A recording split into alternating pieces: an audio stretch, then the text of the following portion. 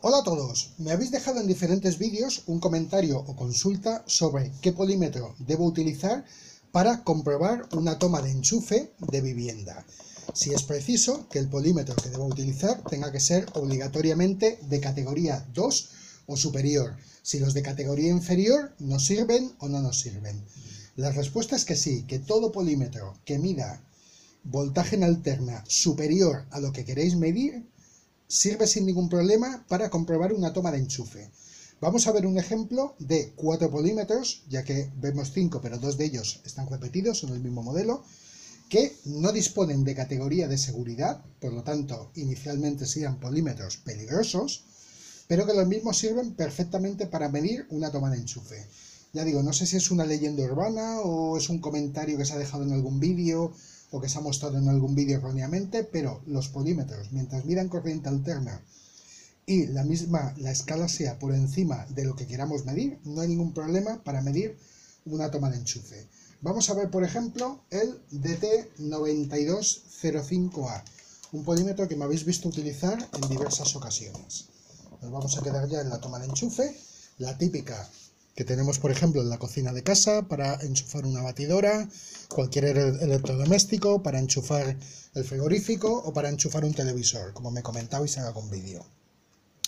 Nuestro polímetro, ponemos la escala de corriente alterna, 750 voltios, encendemos el mismo y tal como vemos nos mide la toma de enchufe, 237 voltios. Podemos ver unas diferencias de unos voltímetros a otros, ya depende del estado de ajuste del polímetro, depende de cómo esté la batería, etcétera. Pero bueno, ya hemos visto el primero que mide. Vemos el segundo. Un polímetro también sin categoría de seguridad. Un polímetro muy extendido, muy económico y que encontraréis en muchos sitios. El DT830B.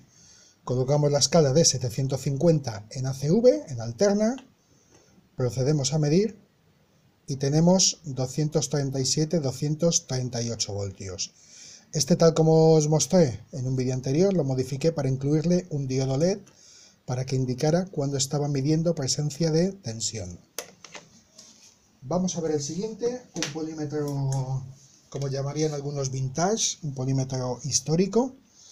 El IFE, el IF20N, este polímetro tiene más de 35 años, es de la época de cuando estudiaba lo he puesto en la escala de 500 voltios, por lo tanto tendríamos que medir en esta de aquí, la escala inferior es la de 100, es muy pequeña, por lo tanto 500, 400, 300, 200. Nos tiene que medir aproximadamente por aquí.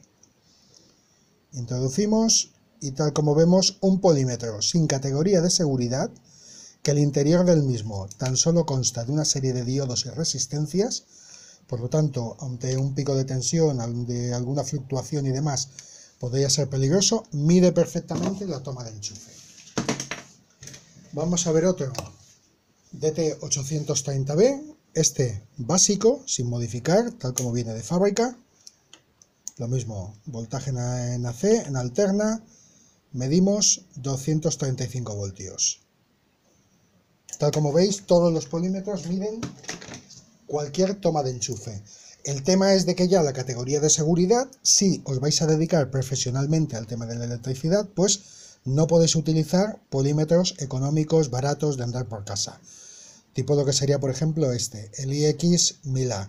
Un polímetro que lo único que lleva son tres resistencias dentro, dos o tres diodos y para temas profesionales absolutamente no se puede utilizar. Es un polímetro eh, que se corre riesgo al utilizar el mismo, si se va a utilizar, por ejemplo, como pone el polímetro, para medidas hasta 1000 voltios.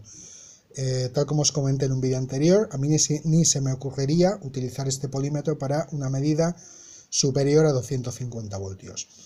He puesto la escala de 250 en alterna, vamos a medir y prácticamente la aguja se nos va a desplazar a fondo de escala.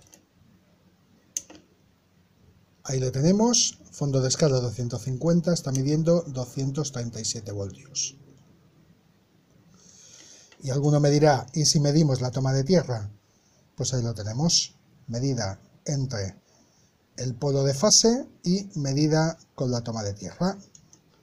Tal como veis, cualquier polímetro, mientras su escala sea inmediatamente superior a lo que vamos a medir en la toma de enchufe, no tiene ningún problema en medir una toma de enchufe.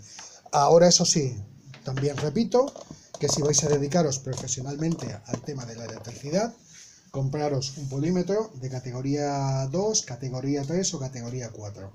De categoría de seguridad adecuada, no podemos trabajar habitualmente con polímetros sin categoría de seguridad, ya que corremos el riesgo tanto de eh, tener algún tipo de explosión, electrocución, o sencillamente son polímetros tan malos que los mismos se caen, se rompen y nos quedamos sin aparato de medida. Para usos profesionales hay que utilizar herramientas de calidad, herramientas profesionales. Un saludo para todos.